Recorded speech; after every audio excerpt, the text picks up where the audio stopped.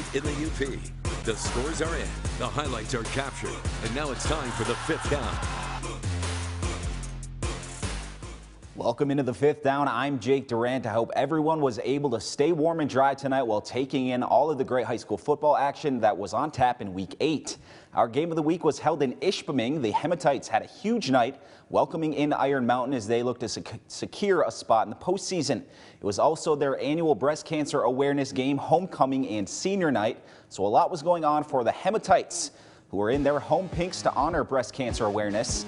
The Mountaineers wanted to spoil their homecoming party. First quarter, Ishpeming getting things started. Preston Gothier going to take the snap.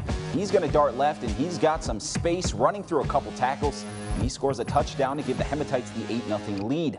Iron Mountain going to answer Joe Colavecchi. He's going to drop back and throw a dime to Matthew Colavecchi. That is a big gain there. That gets the Mountaineers inside the five-yard line. Then a couple plays later, Braden Farah going to take the handoff and punch it in. That's going to make the score 8-6-ish Let's go to the third quarter. This is the tail end of a great play made by Luke Wolf. He's running hard and he's going to leap into the end zone and make it 22-8 Iron Mountain after a, a successful two-point conversion. A bit later, Mountaineers back in the red zone and it's Vara once again. The Mountaineers, they take care of Ishpeming tonight, 28-8. Well, I can tell you right now, Ishpeming gave us all we wanted there in that first quarter, quarter and a half. Uh, give our kids credit, they responded, uh, made some plays as the game went on. Matthew Kolovec had a great run right before the half. And then in the second half, we are just being able to settle down on both sides of the ball, and along the offensive line, defensive line, and just play better. Simple as that, play better. But again, uh, great high, school atmosphere tonight. Uh, the weather, the weather is what it is. We'll play anyone, anywhere, and uh, that's uh, just a good night for Mountaineer football. Let's make a very quick stop in the west side of Ishpeming. I don't love that snow. It's just too early for that much snow, but it didn't slow down. Bark River Harris running back Vincent Martin. He's going to dash through the snow for this long run, which will end in the end zone. The Broncos, they come out on top, beating the Patriots 34 6. Moving on now to Marquette, the Midland Chemics were in town to take on the Redmen. Midland up 7-0 in the first quarter. Marquette trying to get something going. Jackson Jermu going to drop back the pass, and he's going to throw it up into coverage. And this ball is going to be picked off by Noah Wall. That's going to hope the Redmen drive. Let's jump to the second quarter. The Chemics, they came with the right formula for success. Jason Davenport with a quick pitch to Jalen Brown. Brown making it look easy. 14-0 Midland after that long touchdown run. Marquette's defense making some plays in this one. Davenport going to drop back the drop back the pass, and he's going to be surrounded by red jerseys. Tyler, Kyler Young and Xander Marshall team up for the sack. Then on fourth down, Brown going to take the handoff, and the Redmen defense will not break. Callan Smith going to come up with a big tackle for the turnover on downs. But on the very next play, Jermu going to drop back to pass again, and he's going to be picked off by Merrick Hocking. Midland going to take this one 28 to 6. Let's head west on US 41 to Hancock, where the Bulldogs were hosting Calumet. Copper Kings already up a score, and they're going to take or add to that lead with this run by Braden Nelson, who gets over the goal line before, before the ball was knocked loose. Still in the first quarter, Calumet knocking on the door again. Garrett Peterson going to dive in the end zone. 20 to nothing Copper Kings. In the second quarter, Calumet just, just going to keep it going. Nelson, again, he's going to break a long run. Good luck cut catching him in the open field. Calumet rolls 38 to 6.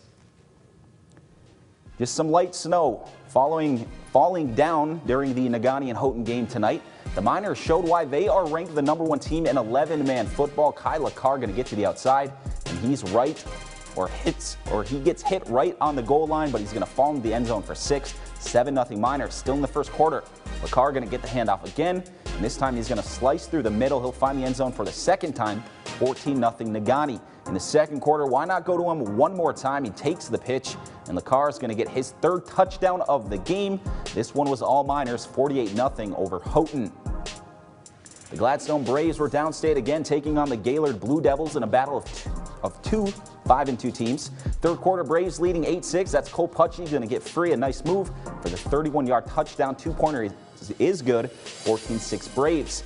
Back come the Blue Devils. Final play of the third quarter. Tyler Ty Benzinger going to get through the line and then goes in for the 20-yard score. Two-point pass is good to tie things up at 14 going into the fourth quarter. But the Braves going to respond. Nate Young engineers a 73-yard 10-play drive. He'll take this one for himself for the touchdown. 2014 Braves with 7:22 left on the clock. And Gladstone going to go on to win this one 22 to 14. A few more scores to pass along. Kingsford takes care of Hopkins 46 to 7. And the Escanaba Eskimos get a road win over Alpena 46 to 21. In the Eastern UP, Sault Ste. Marie wins their homecoming game against Petoskey with a shutout 22 to nothing. Let's go to Powers for some eight-man football. North Central hosting Norway. Luke Gorzinski going to set the tone early. He's going to run over a defender. Touchdown, Jets. Staying in the first quarters. 14 nothing North Central now. Norway going to get on the board. Tyler Newen's going to fight for a score from a few yards out. 14-6 Jets.